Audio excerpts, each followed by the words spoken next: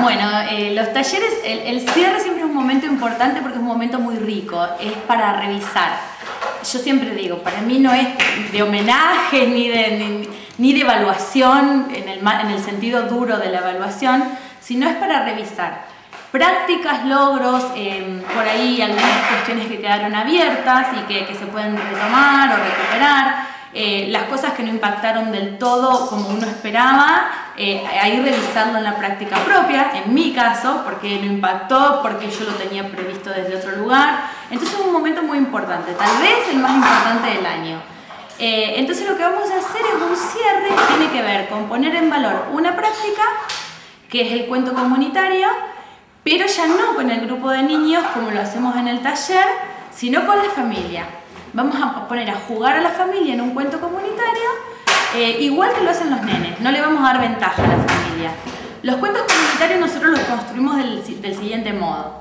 Traigo un relato tradicional o, contemporáneo y lo, vamos, lo voy contando y voy esperando aportes del otro lado. Esos aportes se suman y hacen una historia más grande, más rica, con elementos actuales, con subjetividades, y va creciendo creciendo y le vamos poniendo el cuerpo, vamos tornándonos personajes de esa historia. Y acá, durante el año, lo hicimos muchísimas veces y funciona siempre. Eh, son juegos ya, ni siquiera es literatura por un lado teatro por el otro, es jugar a contar y ponerle el cuerpo a ese relato. Entonces en ellos es natural. La familia que no está acostumbrada tiene todo un desafío el viernes, porque es un tema poner el cuerpo, venir con una caracterización, o sea, eh, definimos el relato que se llama Es las medias de los flamencos de, Quiroga, eh, si bien no va a ser el cuento tradicional porque tiene todos los elementos que ellos le fueron cargando al relato durante todo el año, o sea, el baile de la selva tiene guachiturros, por ejemplo, porque tengo dos o tres que, es guachiturros, entonces se va a bailar eso, y hay un montón de cuestiones que están ayornando el relato, pero vamos a tratar de respetar los personajes. Y bueno, entonces la familia ya sabe qué tiene que de qué tiene que caracterizarse. Entonces vamos a tener flamenco, serpientes, tatucarretas, cocodrilos, búhos. Y bueno, ya en casa están preparando cómo van a caracterizar, que es con un elemento, no es un traje, sino un elemento que dé cuenta de ese personaje. Lo que la familia no sabe es qué vamos a hacer acá cuando lleguemos y tengamos que construir entre todos el cuento. Así que bueno, ahí está el desafío, que los chicos les enseñen cómo se juega con el relato, que es algo que los, a los adultos nos cuesta un poquito.